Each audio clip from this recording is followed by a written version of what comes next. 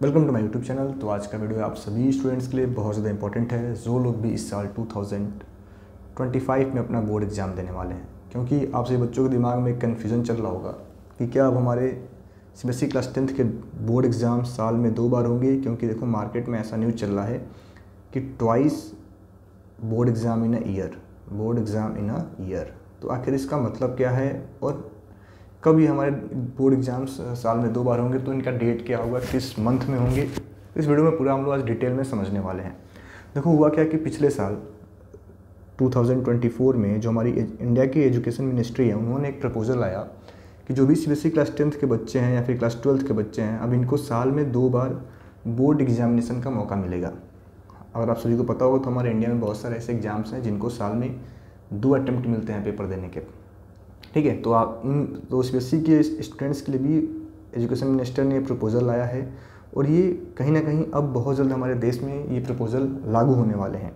अभी 2025 में जब आप लोग बोर्ड एग्ज़ाम देने जाएँगे, यानी इस साल आप जब क्लास टेंथ में जा रहे हो तो अभी ये कंफर्म नहीं है कि आपके बोर्ड एग्ज़ाम साल में दो बार होंगे या नहीं होंगे। अभी इस पर कोई कंफर्म न्यूज़ नहीं है। लेकिन नेक्स्ट ईयर बहुत जल्द मतलब कि आने वाले जो आपके नेक्स्ट क्लास होगा, जो आपका नेक्स्ट सेशन होगा, या फिर कह लो आपका नेक्स्ट बैच आने वाला है, बहुत जल्दी प्रपोजल है कि इंडिया में अब दो बार बोर्ड एग्ज़ाम्स होने स्टार्ट हो जाएँगे, लेकिन अभी आपके केस में यह कन्फर्म नहीं है कब होगा। ठीक है, लेकिन अगर हम ऐसा मान लें कि भाई दबे अगर ऐसा एग्ज़ाम होता है तो आप सभी के दिमाग में कन्फ्यूज़न है कि हमारा एग्ज़ाम ये कैसे होगा और कब कंडक्ट होगा।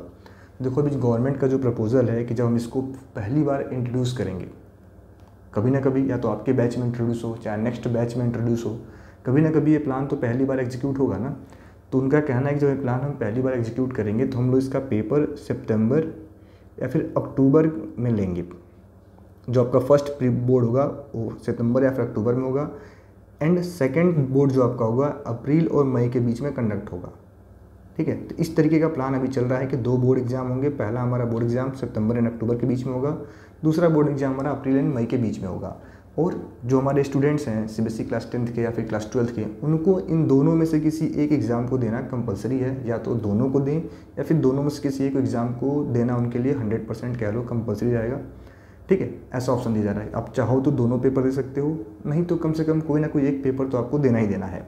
और अगर आप दोनों पेपर लिखते हो तो जो आपका बेस्ट मार्क होगा जिसमें भी आपका बेस्ट स्कोर आएगा, उसी को आपके फाइनल रिज़ल्ट में डिक्लेयर किया जाएगा। जैसे आप सही बच्चों को पता होगा कि हमारे इंडिया में जेई मेंस का एग्ज़ाम होता है तो इस साल में दो बार कंडक्ट होता है जनवरी एंड अप्रैल के मंथ में।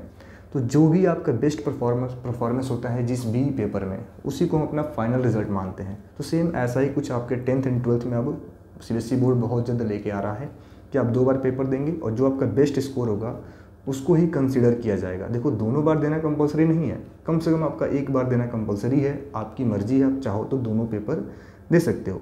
और जिनमें भी आपका परफॉर्मेंस बेस्ट होगा, उसको आप उसी के बेसिस पे आपका फाइनल रिज़ल्ट आपको दिया जाएगा।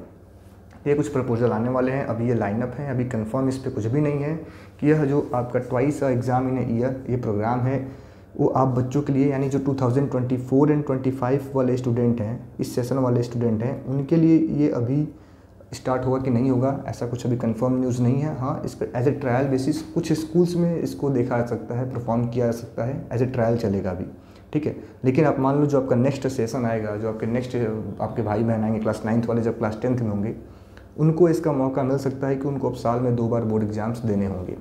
अभी मैंने आपको क्लैरिफाई किया कि कंपलसरी नहीं है दोनों पेपर देना।